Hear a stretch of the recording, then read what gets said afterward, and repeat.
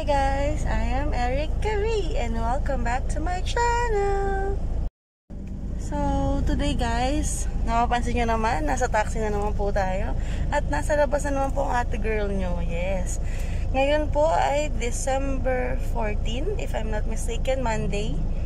Oo, Monday ngayon. Hindi pa sure. Monday at ngayon tayo, kaya tayo nasa labas kasi pupunta tayo ng Eastwood at meron tayo i-check doon. Then, imimit ko na rin yung friend ko na lagi ko naman din kasama, si Gulin. Yes, imimit ko siya para mag-catch up kasi ilang linggo na kaming nagkikita. Taray, di ba? Kala mo buwan na hindi nagkikita, linggo pa lang naman. Magka-catch up kami kasi may pag-uusapan din kami tungkol dun sa business namin dalawa. Then, siguro yun na lang din yung magiging last catch up namin ngayong taon kasi uuwi din siya ng province nila ang alam ko. So mag early catch up kami bago magpasko. so biglaan lang to guys. As in wala sa plano. Bigla na lang siyang tumawag, nag-text, di pala siya tumawag, nag-text kung nasan ako, sabi ko sa bahay, ganyan, sabi niya, tara sa Eastwood, o diba, dahil sa ate girl na naman, ay kalad ka rin, go agad, ayan, so, ngayon, traffic. Dito tayo sa may kahabaan ng EDSA. So, update ko na lang siguro kayo mamaya kapag kasama ko na siya or kapag nasa Eastwood na ako. So, dyan lang kayo.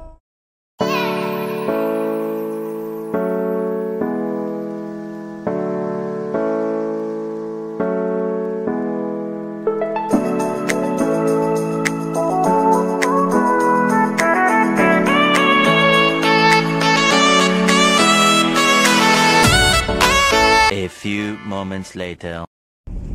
So, quick update guys. Andito pa rin tayo sa taxi. At medyo matagal ang biyahe ngayon kahit malapit lang siya. Magka 5pm na. Sobrang traffic kasi. Kasi super traffic. Hindi ko alam kung anong oras ako darating doon. Pero, ewan. Basta, good luck. Mag 3 minutes before 5pm. Umalis ka ng 4 o'clock sa bahay. Good luck. Ang lapit lang, diba? Tapos mag 5 na yun. Ayun. Magpa-5 na. So, good luck. Good luck sa traffic talaga. Kasi super traffic talaga guys. So, ayan. Makikita niya. Hmm. Sana nakita niyo yun. Sobrang traffic talaga guys. So, update ko na lang siguro kayo kapag nandun na ako. A few moments later. So, ayun guys. Finally, nasa isod na tayo. Bumaba na ako dito sa may McDo. Kasi, sobrang traffic pa. Kung aantayin ko pang gumora hanggang doon sa stoplight. So, walk out na tayo. Since malapit naman na ako doon sa meeting place namin ng friend ko. So, update ko na lang kayo mamaya kapag kasama ko na siya. Excited lang. Update ko na lang kayo mamaya guys. So, dyan lang.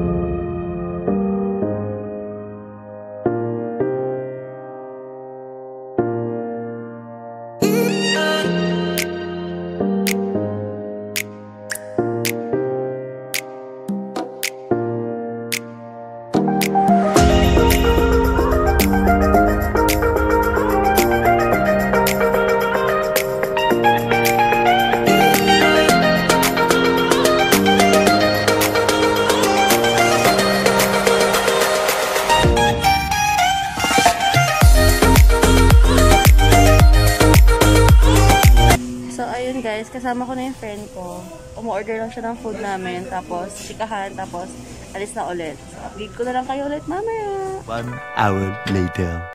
So, ayun guys, tapos namin kumain. Maglalakad-lakad muna kami dito. Kala mo talaga, hindi natin naikot na to. so, maglakad-lakad muna kami, tapos update-update na lang kung ano pang gana. Pero hindi kami magpapagabi ngayon. Kasi gabi na. ano lang, very ano lang, saglit lang talaga kami dito. Magchika-chikahan lang talaga kami. As update-update na lang. So, we're still here at Eastwood. Ansya ko na ng mukha ko. Pinapawisan na ako. Yes, naglalakad-lakad pa din po kami. Ah, yan. Naghanap kami ng pwede naming kainan daw ulit or coffee shop. Depende. Kung may makita kaming pasok sa aming taste, dun kami. Oh, ito oh. Ay, hindi pala. Kala ko milk. Hindi pala. So, update ko lang kayo guys ulit mamaya kapag may nahanap kami. So, dyan lang kayo. So, ayan guys. Nandito kami sa I Milky Milk Tea Kineme. Basta yon Hindi ko siya mabasa kasi mala. Ito pala bumili nga pala ako. I Milk Tea. Yun, ay milk tea kineme nga siya. Kasi Chinese, ewan ko. Basta dito kami, umiinom kami ng milk tea. Tapos siya, water siya. Tapos, ayan, nagpapahis din kami. So, andito lang kami. Nagchichikahan pa din. At planning na pumunta ng Eastwood Mall ulit kasi may check tapos update na lang kung uuwi na ako o hindi na ako uuwi. Char. Basta update ko na lang kayo mamaya. Diyan ako.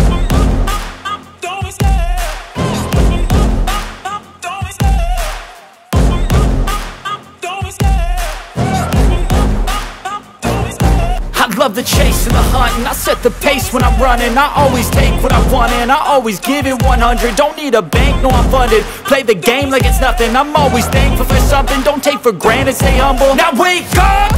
It's time to look at the enemy. Look in the mirror if he is no friend to me. It's not working out, maybe it's the chemistry. It's time to break up so I can make a better me. Better believe in your mind cause it's everything.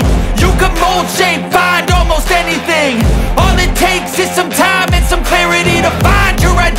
it's my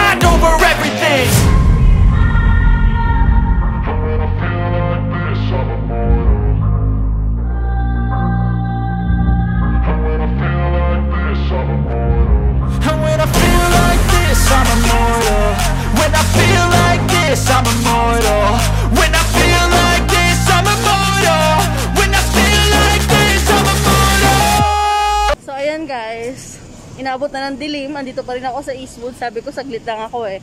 Pero nag-enjoy kami kaka-TikTok. yes, TikTok is life. Ayan. Pag napansin ninyo noo ko, alam ko malapad yan. Tinali ko na kasi ang init.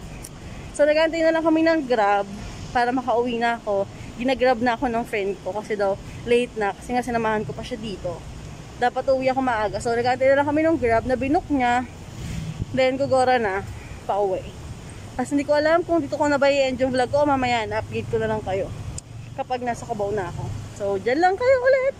Hindi ko talaga alam kung saan ako titingin. Dito o dito. Bala na nga basta. Dyan lang kayo. A few moments later. So, ayun guys. Nandito pa rin kami. Nag-aantay ng grab.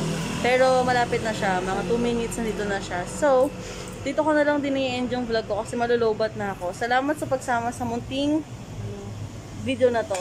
And I hope nagustuhan nyo yung Eastwood kapag gabi. Tapos, ayun, salamat sa pagsama again. Till next time, please don't forget to like, comment, and subscribe!